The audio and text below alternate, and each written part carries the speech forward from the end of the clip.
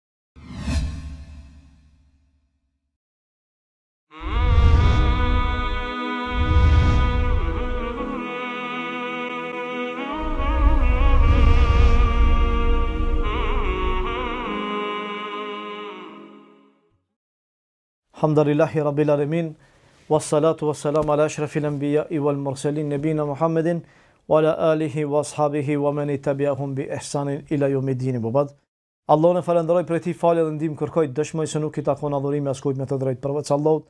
dhe se Muhamedi është rob dhe i dërguari i Tij, paqja dhe mëshira e Allahut qofshin mbi të, mbi familjen e tij, mbi shokët e tij dhe mbi të gjithë ata që i përcjellin me të mira deri në Ditën e Kiametit.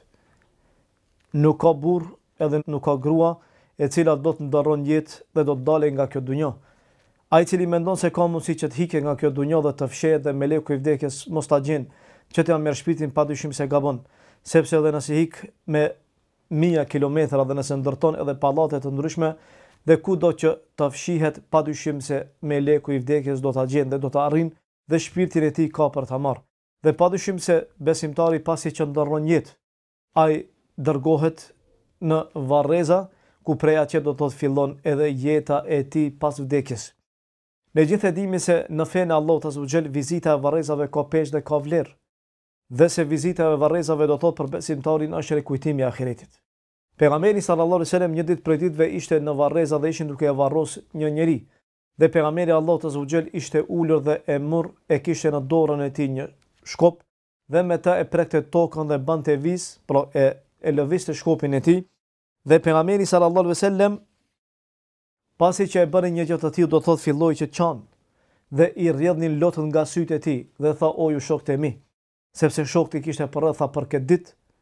tha përgatituni, pra përgatituni për një ditë kur do të hyni në varr dhe kur do të vinë melek dhe kur ke për me dhon llogari para Zotit tënd. Pejgamberi sallallahu alejhi ve sellem në fillim të Islamit e ndaloi vizitën e varrezave. Dhe e dimi gjithë do thotë se prej urtësisë se pse e ndaloi vizitën e varrezave ka qenë sepse kanë qenë të rinj në Islam dhe ka pas frikë se ndoshta ka mundësi që të binë në idhujtari. Dhe ma vonë pejgamberi sallallahu alejhi ve sellem e lejoi vizitën e varrezave dhe ju tha shokëve të vet se në fillim unë e ndalua vizitën e varrezave kurse tash ju preferoj që të shkoni dhe t'i vizitoni varrezat sepse varrezat ua rikujtojnë juve ahiretin. Pra ne shpesh angazhohemi me dunja, preokupohemi me dunja, fëmijët, gratë, puna, bizneset, pasuria, dunjaja e kështu me radhë, gjitha ato na bëjnë do thotë që ta harrojmë ne ahiretin, e vizita e varrezave padyshim se ndikon në zemrat e tona, dhe padyshim që i zbut ato, dhe padyshim na rikujton se edhe ne një ditë prej ditëve do të bëhemi banorë të atyre varrezave. Prandaj besimtari kur shkon në varreza duhet ta dinë se ka etikë dhe ka rregulla. Fillimisht preferohet që besimtari kur shkon t'ua jep një selam edhe të bën lutje për ata banorë të varrezave. Dhe pejgamberi Allahut një prej lutjeve të tij kur shkonte në vizitë të varrezave thonte pejgamberi Allahut Esselamu alejkum ehled-diyari minel mu'minin wal muslimin wa inna insha Allahu bikum lelahikun. Thotë Esselamu alejkum o ju banorët e këtyre varrezave muslimanë dhe besimtarë dhe me lejen e Allahut edhe ne ma vonë do t'ju bashkangjitemi, thotë ve nes'elullahe lena ve lekum el afije, dhe kërkojmë për neve dhe për juve falje nga ana e Allahut azze ve xhel. Pra, preferohet që besimtari kur të shkon, do thotë që fillimisht ta bën këtë lutje dhe pastaj të hyjë në varreza. Kur hyn në varreza, nuk lejohet që të shkelet mbi varreza dhe nuk lejohet që të ulet mbi varreza, po besimtari shkon përreth varrezave dhe shkon afër atij varri ku dëshiron që të shkon dhe të lutet për te. Do thotë kur shkon tek ai, afrohet afër varrit, preferohet që t'i ngrise duart e tij dhe të kthehet ka kibleja edhe pastaj të bëjë lutje për të vdekurin e tij. Dhe nuk lejohet që besimtari siç e ceka, të ecë nëpër varre dhe t'i shkelë ato dhe të ulet nëpër to. Ceket për Othmanin radijallahu anhu kur shkonte nëpër varreza.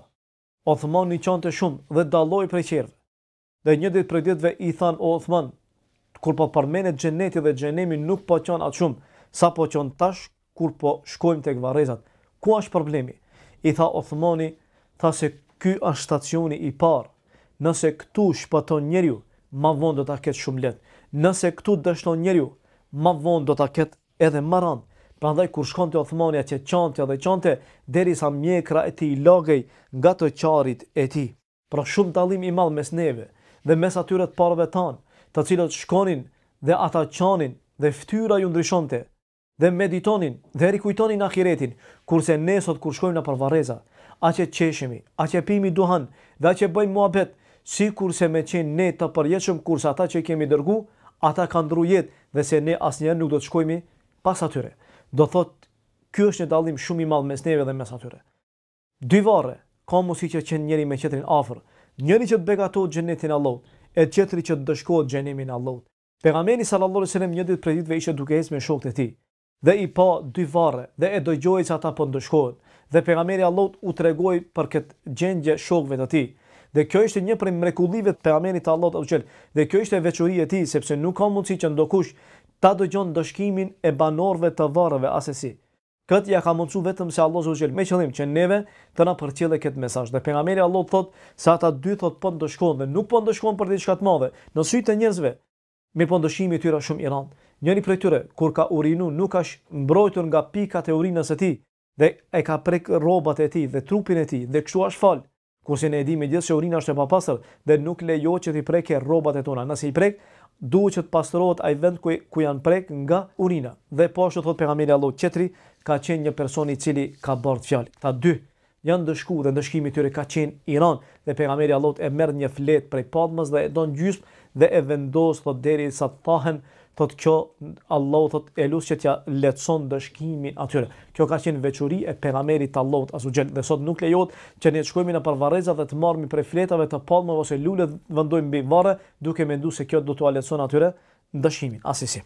Prandaj ceket për Omer ibn Abdul Azizin se kur shkonte tek varreza qante, edhe qante do thotë tepër dhe uleshte aty dhe thonte o ti vdekje, thonte ti na ndave nga shokët, na ndave nga të dashurit tan, pra vdekja është ajo e cila neve na ndon nga shokët, nga të dashurit tan, nga fëmijët tan, nga jeta jonë, nga gjithë ato. Dhe nëse besimtari e mediton një gjë të tillë, padyshim se gjendja e tij do të përmirësohet dhe zemra e tij Do të zbutet, pra ceket do të thotë për Sufjan eth-Theurin se kur shkonte nëpër varreza, Sufjan eth-Theuri e vendoste një një një si lloj perde ose do të thotë një një si lloj mburojë për fytyrën e tij, sepse qante shumë dhe nuk dëshironte që njerëzit ta shohin ashtu duke qajë. Prekeshte tepër nga vizita e varrezave, edhe kështu duhet që të jetë gjendja jonë kur shkojmë nëpër varreza, mos bëjmë muhabet dhe mos pimi duhan, mos qeshimi atje. Po përkundrazi, ta meditojmë gjendjen, ta, ta shohmi realitetin e varrezave, ta shohmi ai i vdekuri se ku po hy, dhe ta rikujtojmë se dhe ne kemi për me hy një ditë prej ditëve ate, atje. Dhe ajo nuk dihet, ndoshta sot, ndoshta nesër, ndoshta pasnesër, dhe ne kemi me qenë prej banorëve të varrezave,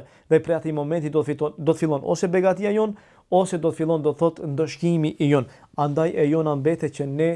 ta kuptojmë realitetin e vizitave së vizitave e vizitës së varrezave dhe ta kuptojmë se çfarë vlere dhe peshe paska në jetën e besimtarit. Andaj Allahu thotë, Kullu nefsin dhaikatul maut, se çdo shpirt do ta përjeton vdekjen, wa innema tuwaffawne ujurekum yawmel qiyame, se ditën e Kiametit padyshim se shpërblimet e juaja do t'ju plotësohet, femen zuhzihe anin nari wa udkhilel xhennete fekat faz, Ai i cili u ruajt nga zjarri i Xhehenemit dhe hyri në Xhennetin e Allahut me të vërtetë është fitimtar, thotë, Wa mal hayatud dunya illa meta'ul gurur, dhe me të vërtetë jeta e kësaj dunjaje nuk është diçka përveçse një kënaqësi mashtruese. E lus Allahun që të na bën prej atyre, të cilët Allahu i mëshiron dhe e lus Allahun që në momentin e e e vdekjes sonë Allahu të na lehtëson vdekjen tonë dhe e lus Allahun që pyetjet në varr Allahu të na lehtëson